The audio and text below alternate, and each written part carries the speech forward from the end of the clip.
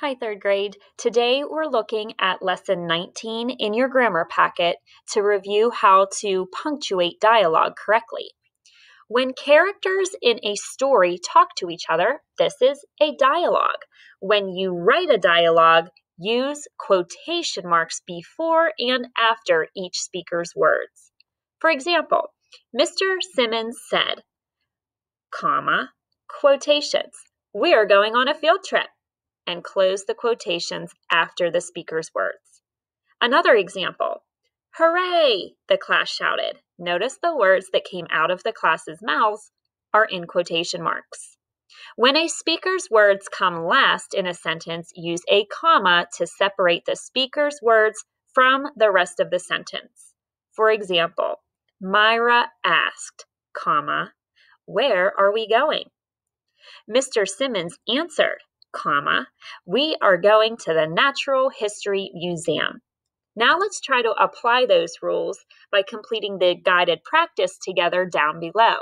The directions at the top say, read each sentence, then rewrite the sentence on the line below, adding quotation marks and commas where needed.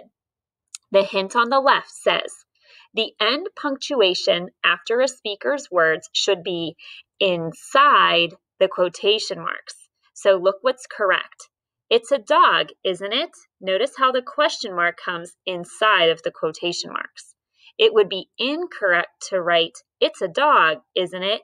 And put the question mark outside of the quotation marks. Do not do that. All right, number one. I am so excited about our trip to the museum, Janie said. Well, all this one needs is some quotation marks. So think, what words are coming out of Janie's mouth? Right, so make sure you put quotation marks before I and after the exclamation mark in museum. Number two, Carlos asked, Do you think it will be boring? Okay, now remember, when the speaking part comes at the end, it said to use a comma to separate the quote from the rest of the sentence. So Carlos asked, comma, then we need quotation marks. Do you think it will be boring? And remember, close the quotes after the punctuation. Number three. Then Justin explained, it's a chance to go someplace new. So, what are the words coming out of Justin's mouth? It's a chance to go someplace new, right? Don't forget, though, you need a comma after the speech tag. Then Justin explained. So, then Justin explained, comma, quotation marks, it's a chance to go someplace new. Close the quotation marks after the period at the end. And lastly, number four. I think we'll have a great time, Tanisha added. Well, Tanisha is saying what words?